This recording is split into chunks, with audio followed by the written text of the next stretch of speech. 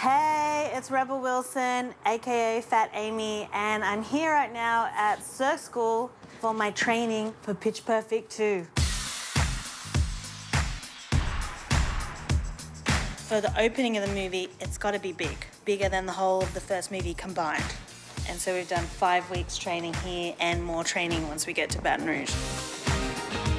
It is the president's birthday, and he is about to get a birthday surprise from the Barden Bellas.